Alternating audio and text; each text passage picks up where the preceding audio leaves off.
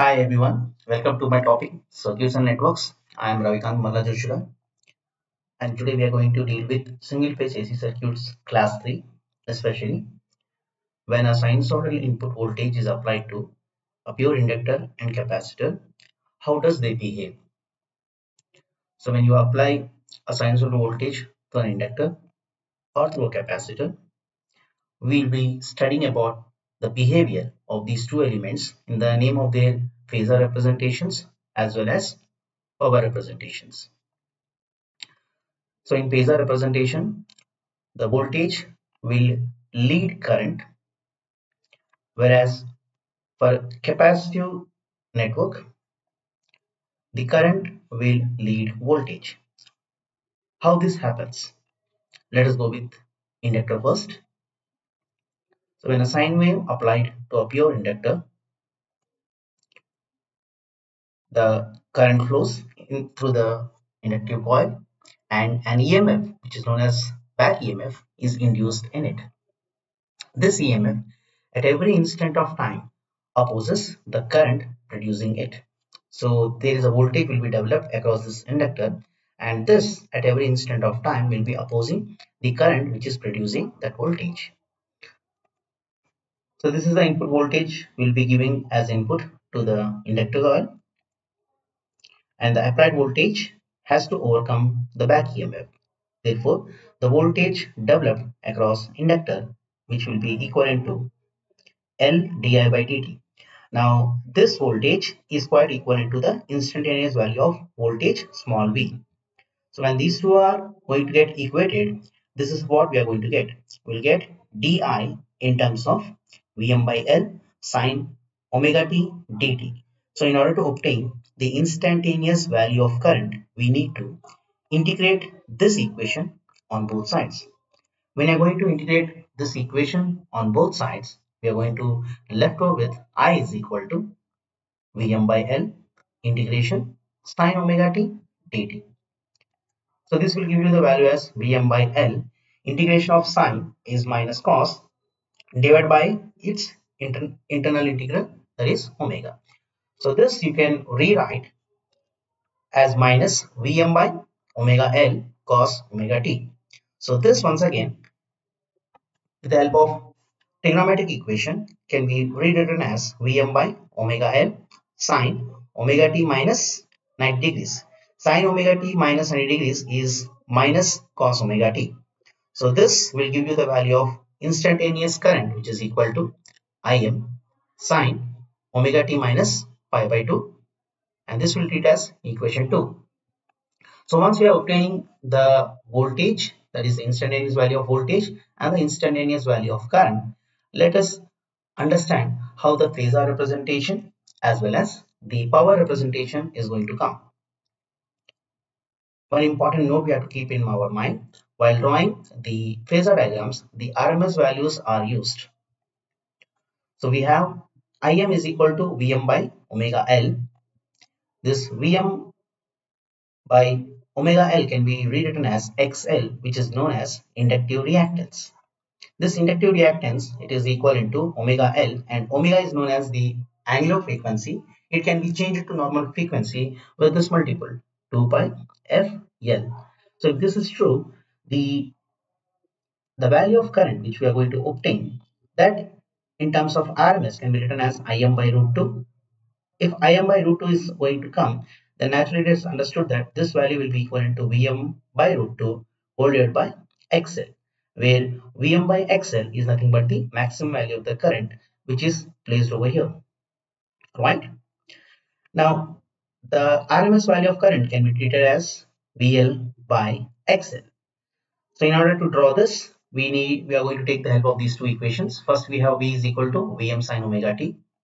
So we are going to take vm on y-axis then you have i is equal to im sine omega t minus pi by 2 so this value of current that is this current is taken on x-axis and clearly from equation 1 and 2 we can say the current lags voltage by 90 degrees pi by 2 indicates 90 degrees. So this is how we represent the phasor of pure inductor circuit. Therefore, we can say in a pure inductor, current lags voltage by 90 degrees. The similarity we can apply in order to derive the power. Power is equal to V into I, where V instantaneous value of V is Vm sin omega t, I is Im sin omega t minus pi by 2. In order to represent these two waveforms, we can represent these two waveforms in this fashion. You can see V is the voltage applied to the inductor. So it is starting from 0 and it is taken one cycle which is 2 pi. Then the instant value of current is Im sine omega t minus pi by 2. So you can see this has originated at pi by 2 which is lagging by 90 degrees and it is going and it is continuing its path for one cycle. So this is how a current and voltage in the name of power can be drawn. So we can make use of these values both together in order to obtain the power waveform. So how do we do that? First, let us multiply these values. We are going to get sine omega t, sine omega t minus pi by 2. So sine omega t minus pi by 2 is minus cos omega t. So this value is minus Vm Im sine omega t cos omega t. So I can write sine omega t cos omega t as sine theta cos theta. So 2 sine theta cos theta or you can write sine omega t cos omega t as sine 2 omega t whole divided by 2. So this is a trigonometric representation. With this, we are going to obtain the power diagram or power waveform. You can see current and voltage are already taken. Voltage is red wave, current is blue wave. The combination of red and blue is going to give you the power waveform you can see from 0 to 90 degrees 0 to 90 degrees the current was negative and voltage was positive therefore power which is the multiplicator of these two values will obtain as negative power. So that is why from 0 to 90 degrees the power is negative. Okay? And after 90 degrees the current has taken to the positive axis and voltage is also on the positive axis. So naturally we are going to get the added power which is on positive plane. And similarly, after pi, the voltage waveform is going to the negative axis, whereas current is still on positive axis, but the power value will be on negative axis. And at the last stage, from this point to this point, that is 270 to 2 pi, the voltage was negative, current is negative, so current and voltage both are negative. So negative and negative will give you the positive power. So this is how we complete the this is how we complete the power equation. So when you're going to apply the average power, average power from 0 to this is for 2 pi second.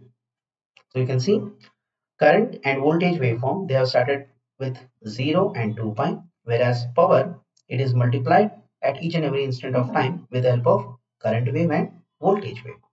So when you're going to apply the average power with the help of average formula so the time period is from 0 to 2 pi. So 1 by 2 pi 0 to 2 pi. The value of power instantaneous power we are going to substitute here. Okay and we have to integrate with respect to d omega t. So this will give you the value as 0 this is one cycle this is another cycle. But from 0 to pi and pi to 2 pi you can see the average value of power is 0 so this is the main difference between an inductor and a resistor. So this is elaborated in this particular waveform. Negative current positive voltage negative power positive current positive voltage positive power voltage negative, current positive, power negative, current negative, voltage negative, and power positive. So you need not uh, uh, you need not modify or you can you can uh, you need not modify this particular wave equation. Just go with the flow of the value of voltage and current then you can easily determine the power diagram of pure inductor circuit. The same thing we are going to analyze for capacitive network, in fact pure capacitor. So whenever an alternating voltage is applied to a capacitor, it gets charged and as a resultant alternating current flows through it.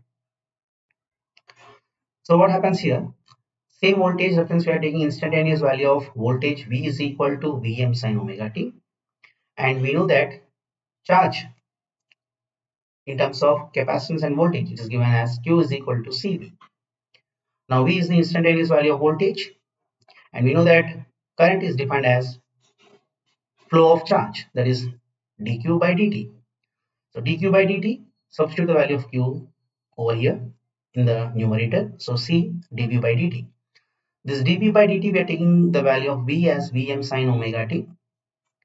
And we are going to replace v value with vm sine omega t then differentiation of sine omega t with respect to dt or with respect to t in fact we talk or omega t you're going to obtain as cos omega t multiplied with omega internal derivative. So we are going to get omega c vm cos omega t or you can mathematically replace this equation as omega c vm sine omega t plus pi by 2 okay? Sine of 90 plus theta is cos theta.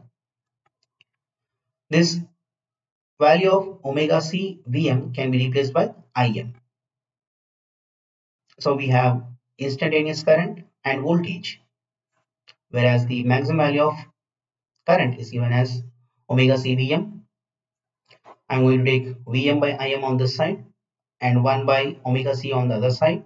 So this will give you the value as xc where x is known as the capacitive reactance whose value is equal to 1 by omega c. Omega is 2 pi f where f is the natural frequency, omega is the angular frequency. So we have v and i as instantaneous values. So with this I'm going to place i which is reading the voltage developed across the capacitor by 90 degrees and let us understand that current leads voltage in the case of pure capacitance under the influence of sinusoidal input. So when you're going to calculate the instantaneous power, P is equal to V into I, substitute the value of V, I, multiplying these two equations and the waveform of current. You can see current was leading in this case. So current has already started. When voltage is at zero current was at maximum. And this waveform is repeated for one cycle. And so on it will go on with the multiple cycles. So i'm going to multiply these two values. I'm going to get vmim sine omega t cos omega t which is nothing but sine of 2 omega t by 2 so again when we are going to take the average power, we are going to get the value as 0. So for pure inductor and for pure capacitor, the average value of power is always 0. This can be easily understood with the help of this power waveform. So you can see current was positive, voltage was positive, that's why the power is positive. Then from 90, the voltage is negative, current it is also negative. Therefore the power sorry the current is negative but the voltage is still positive. That's why the power is negative. And after pi the voltage goes to zero and it is going for the negative axis. And current is already in the negative axis. So negative of voltage negative of current will give the positive of power. And then what happens your condition from this point the current is going to go positive and voltage is still negative. That's why the power is negative. I hope you understand this waveform. Please comment in the chat box if at all you have doubts with the waveform representation of power to the capacitor. Just this particular upper wave is going to get repeated over here and which makes the current to get positive. When current is positive voltage is negative. Actually the power is negative and that's why the cycle you can see for one cycle of voltage involved with current we got the power again as zero. We are talking about the average power. So what we have learned in our three classes pertaining to sinusoidal input applied to passive elements whether it is resistor inductor capacitor when AC is applied to these three passive elements the same voltage we are applying that is V is equal to Vm sin omega t but how does the current behaves? For resistive, for pure resistive, the current and voltage are said to be in phase. Whereas in inductor, the current lags voltage by 90 degrees. And for capacitor, current leads voltage by 90 degrees. So this is the conclusion of sinusoidal input applied to passive elements, that to pure elements. So this is how the waveform we have obtained. In general, it is this this case is the case of capacitor. So this is how we have to estimate the power relations and the waveforms and the phasor representation of passive elements under the influence of sinusoidal input. So this we are treating as class 3. In our future classes, we are going to take the combination of RL, RC, LC and RLC networks and we are going to derive the power waveforms and phasor diagrams for different cases. So I, I hope you like my video. Please share among your friends and please please please subscribe to my channel and press the plus bell icon for the future notifications. Thank you.